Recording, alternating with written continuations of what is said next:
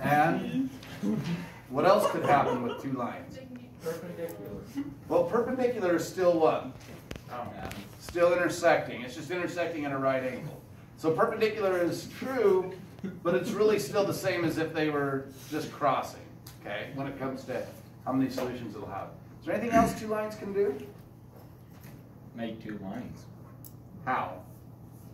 I don't know. Um, they can make a right angle. So the right angle is what we were just talking about. That's perpendicular. And it would look like this, though. It's just a special type that meets at a right angle. Watch this. Here's two lines.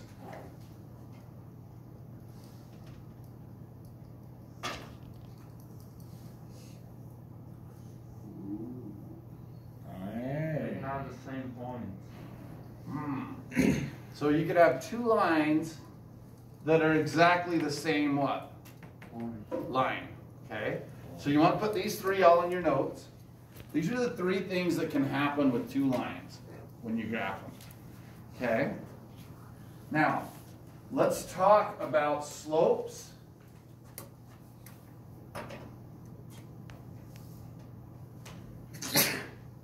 Solutions.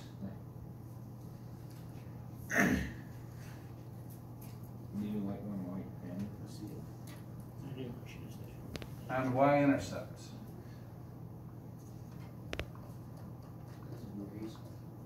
Okay? All right. If they are parallel lines, what do you know about their slopes of the two lines? They have the same exact slope. Same exact slope. Very good, Gavin. So yeah, the slopes will be equal to each other. If they're parallel, okay, if they, if they are that. So let's give an example. Let's say I had y equals one half x plus three. And then I had, uh, three x plus, or minus, sorry, six y equals twelve. Okay? Now, let's say I had these two equations, and I asked you to graph them and tell me the solutions to these equations. Well, what was the, what was the, how would you graph the top equation? Let's do this one over to the side here. So you, How would I graph the top equation? Somebody besides Dan and answer me. Let's have Danny answer me. No. How would I graph that top equation, Dan? Uh, Go over three. Okay, that's the, You're not three. yeah, I was gonna say, that's the mistake most kids make, actually. Not three. So we have our x-axis, we have our y-axis. You actually want to start up three on the y. Never, when it's in slope-intercept form, if it's in slope-intercept form, never start, holy cow. Why did you, oh, I guess people couldn't hear, huh? I don't know. Yeah. It was pretty loud. You thought I was loud? No, she had it pretty loud. Oh, I why did they not hear? I don't know. Alright.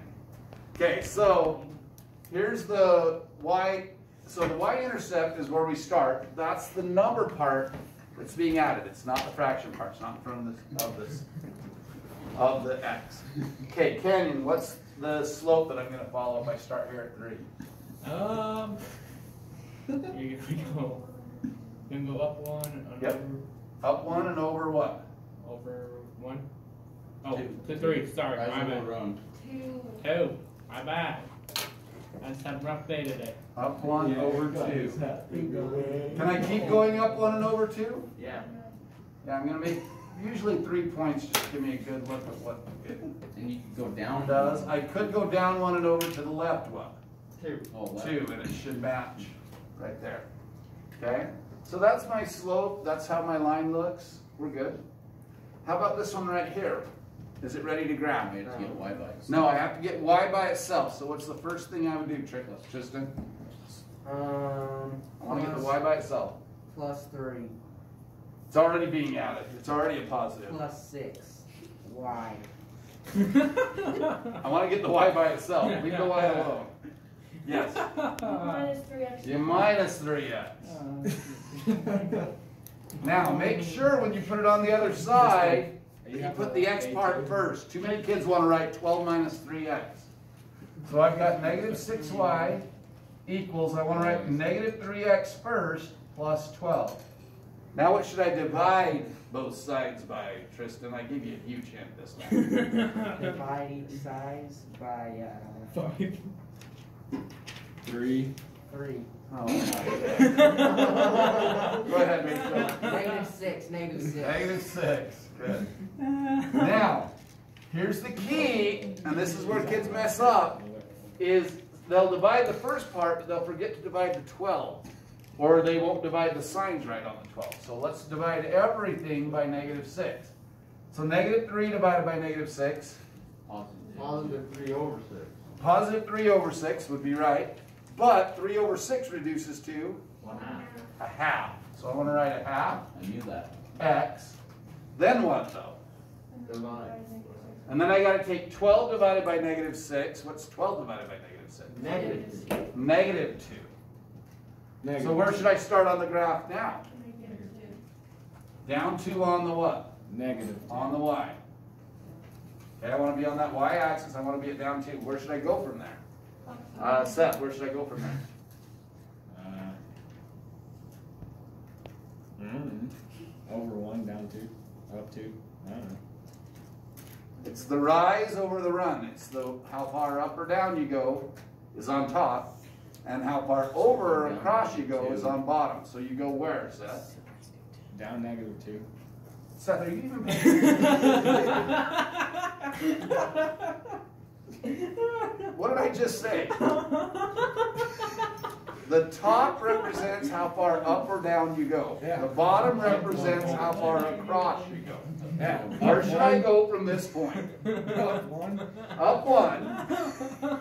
And what? over two. Yeah.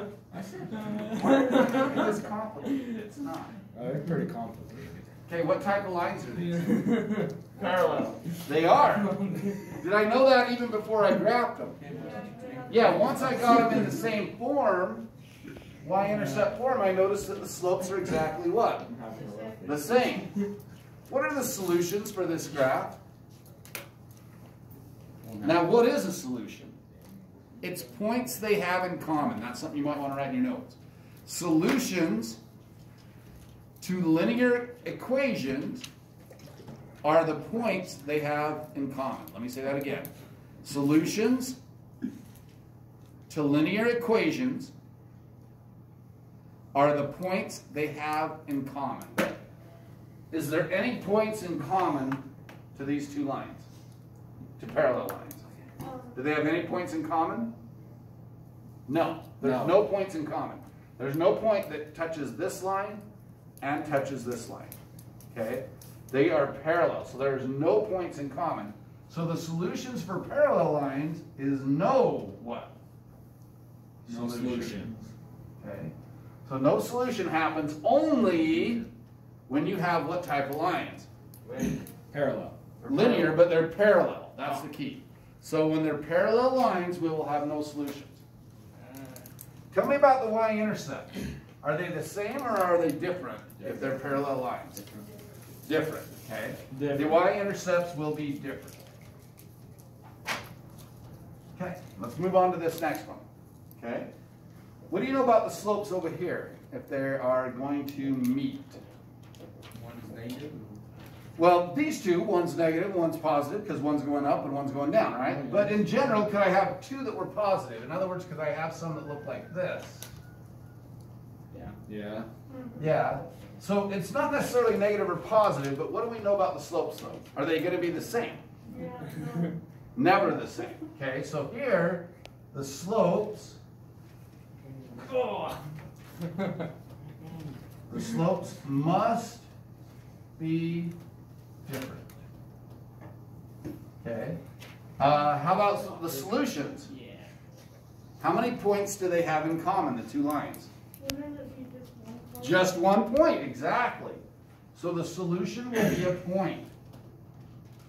The solution is a point they cross. Man, you guys are smart. Okay? And then, how about the y-intercepts? Um. not important, okay? Because this could be different, it could be the same, not important. It doesn't matter whether they're the same or different, in other words, okay? All right, let me give you an example of this type. So let's say I had uh, y equals two x minus four, and then think here. Uh, Snowball. Ow. Ow.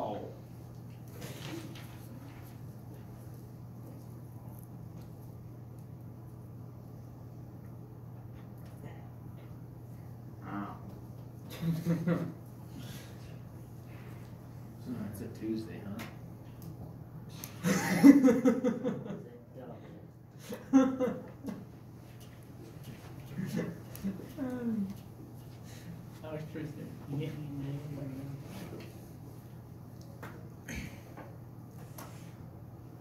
Okay. Let's say these were the two equations, okay? How would I graph these two lines?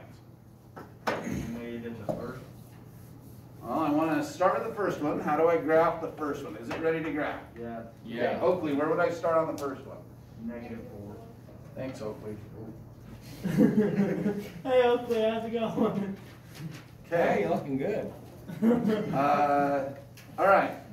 From there, Ryder, where would I go? From negative four, where am I gonna go? Up to. What's the number in front of the x? B. Two. Yeah. So I'm gonna go how far up? Yep. Up two and over how many? One. Up two, over one. Because I could write that two as a fraction, two over one, okay? So I'm going up two over one, up two over one. There's my line, okay? So fairly steep line, okay? Where should I start the next one? Well, I don't know yet. I gotta solve it for what? One. Gotta solve it for y, so let's solve that one for y. So, uh, Griffin, what should I do first to get the y by itself here? Uh, divide. I mean, no. I wanna get the y by itself. You minus four. Do I minus four? No, what should I minus? Three. Three what? I had Three x. hand up. Get the x part away from the y part. The y part needs to be by itself. Okay, so I'm gonna subtract three x both sides. Three x goes in front. Now I have this equaling four y. Now what should I do? Divide by what? Four. Four, oh. okay. Now, this is a little tricky because it's going to be, well, you'll see. Okay, where should I, what's it going to be when I divide by four? Well, the first part is gonna be negative three fourths x, but the next part is gonna be negative five fourths. Where is negative five fourths? Okay. Where's negative five fourths? Right. One and one One fourth. and what? One fifth. One and One fourth. One fourth, so down one and a fourth, so just barely below the negative one. From here, where should I go? Okay, from here, where should I go, Dakota? I'm down at one and a fourth, where should I go from there? According to that. Down how many? Down what? Down three and over what? And you go down three, so you're still at the fourth part, and then you're over one, two, three, four. Okay, so these go here. Okay, Hey, Seth. now if you notice, it's crossing right at that point. What was that point? How far up did I go on the first one? On the first graph, how far up did I go? Up Two. two and over one. So what's this point right here? Always put the x part first. What's the point? X is over at what? One. And Y is down at what? Two. So this is one, negative two. That's the point they cross. Now, let's say you weren't sure if that was the point they crossed, because remember we were with some fractions there, and we were like, ah, I think that's the point they crossed, but I'm not sure. How would I actually make sure that that point works? Yeah, just substitute it in, and it should work in both equations. So this is another part that we want to do. We want to write this in your notes. If the point, write this in your notes. If the point can be substituted in both equations and be true, it is a solution.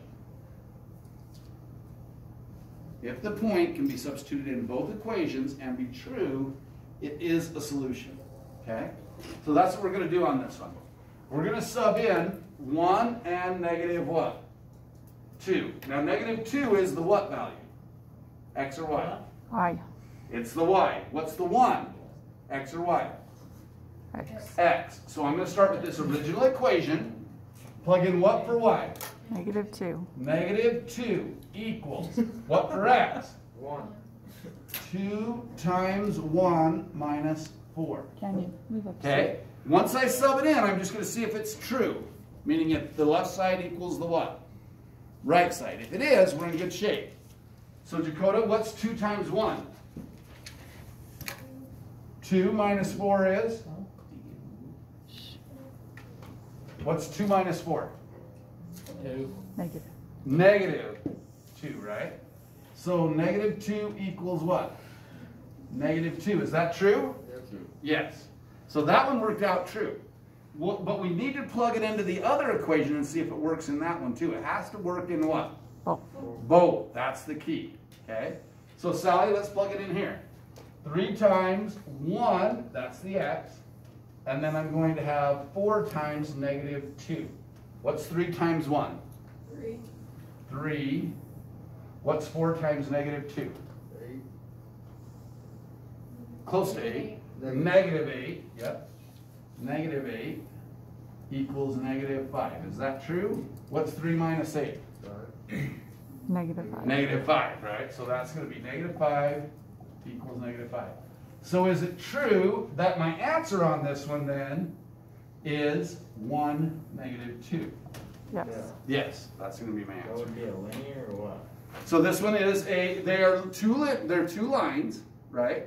But these are intersecting, right? When they intersect, how many solutions? one, The solutions is one point that they cross, okay? The slopes could be different, or sorry, the slopes must be different. Are the slopes different? Yeah. Negative three fourths and two, yeah, those are different. Um, again, is it important whether they had the same y-intercepts? Now, that's just a starting point for my graph, okay? Everybody understand this, this type? This is the most important type. This is what usually happens when you have two lines, okay? Let's try this one. Tell me about the slopes of these two lines. Same. They have to be the same. Because really, you're ending up with the same what? line, Same line. So, how about the solutions? infinite, Yeah, the solutions are infinitely many.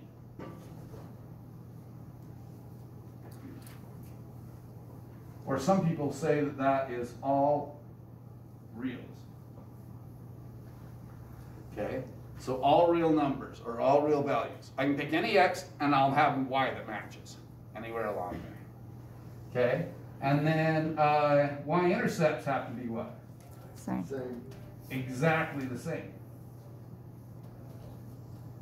Have to be the same. Okay, let's try one as an example. So let's say I had y equals negative one third x plus four. And then I'm gonna have uh, two x plus six y equals twenty-four. All right. And so I want to graph these and see if they're the same or what, or what's going on. Okay? Is the first one ready to graph? Mhm. Yeah, totally ready to graph. And where should I start? Seth? Up four. Good job. I start up four. Canyon, where should I go from there? Um, up, the down one, Good. Down one and over how many? three, To the right or left? uh, left. Right. No. Alright. Always go. The bottom number. Top number is down. Uh-huh. Bottom number is positive, so it needs to go to the what? Right. Right. Okay. So I'm going to go down one and right three. Can I keep going down one and right three? Yep, I can keep doing that. So this one has a little gentle slope, going slowly down. Okay, there we go. By the way, could I go up one and to the left three? Yes. Yeah, I could have done that. I went up one and to the left three. Now I have some graph paper over here that we'll be using a little bit today as we do these. So, all right, now, let me ask you this. What should I do with the second equation? Same thing. Get the y by itself? I gotta get the y by itself. So Nick, what should I do first to get the y by itself on the second equation? I wanna get the y by itself on that equation. What should I do first? Minus two x, very good. Now again, a lot of kids wanna write twenty-four minus two x over there. Always put the x part what? First. First, okay? So write six y equals, then put the negative two x, then put the plus twenty-four. Some kids wanna add those together. Can I add these together? Yes. and write 22x? No, because the 24 doesn't have an x with it. You with me on that? If it doesn't have an x with it, you can't add something without an x to something with an x. It's like comparing apples to oranges, right? The x's are the apples and the ones without x's are oranges. You can't really put them, they're not the same. You can't add them together, okay? All right, now, what should I divide both sides by? Six. Six. What will that give me? Divide both things by six and reduce, what will it give me? One third, negative one third. Negative one third Plus four. x plus four. What do you notice? Same, same. It's exactly the same. So if I was to graph it, I'd start at the same spot. I would graph the same slope. It would be the same one. Line. Now, what would I say about this then? What is the solution for this? All reals. All reals. So I'm going to put all reals. Now, here's what's interesting. Remember how we plugged in a point here and it worked in both? Yeah. I could pick any point and it should work on both. Name some points on here. What's this point? Zero four. Zero, four. Very good. That point is zero, four. Remember, I went down one and over three. What's that point? Negative one and three. It's down one from four, Three. three, Three. and how far over it went? I went down one and over three, it's what? Three, three. Three, three, yeah, this one is three, three. Okay, and then I went down one and over three more, what's this point right here? Seth, what's that point? Six, two. I went over three more, so if this was three, three, where Six, am I at? two. Six, yep, and I went down one, two. Everybody with me on those? Okay, I can pick any of those and they should work in both equations, will they? Yeah. I don't know, let's see. Let's pick the six two just for funsies. So here we have two equals negative one third times six plus four. Okay, three goes into six, how many times? Two. Twice, right? So this is three and the six reduces to a two. Negative one times two is negative two plus four. What's negative two plus four? Two. Two. Am I good? Yep, it worked. Well, it worked in that one, will it work in this one? Oh, yeah. Obviously, it's the same equation, right? Once I got it simplified. So all you really need to do is simplify and you'll get it. I can plug in any of those points. They'll all work. They'll work in one, they'll work in both. So that's how those work. Yes? Yeah, the question is, how do you tell, and that's a very, very good question, actually. How do you tell the difference between this situation where it's the same line and one where it's parallel? Because they have the same slopes, right? Didn't these have the same slopes? Yep. Did these have the same slopes? Yep. What's the difference? Um, Different y-intercepts. plus is different. Yeah, the y-intercept is different. But how about here? They're the same. They're exactly the same. This part is really the difference between when they're parallel and when they're what? The same. So that was a good question, but exactly what, I forget her name, what's her name? Sydney. Sydney. Sydney, sorry, you came when I was leaving, so. So Sydney, yeah, Sydney's got it exactly right. If the slopes are the same, but the y-intercepts are different, then there's no solution. If the slopes are the same, but the y-intercepts are the same, then obviously you have the same what? Line. line and they are all real solutions. Any x value you pick on the line will give you the same y value on both lines. Okay? All right, take your books out now. And then we'll do a few on your separate sheet of paper. So you're still gonna need your separate sheet of paper. Take your books out, we'll zip through the book. And then we'll do a couple on the other sheets of paper. You can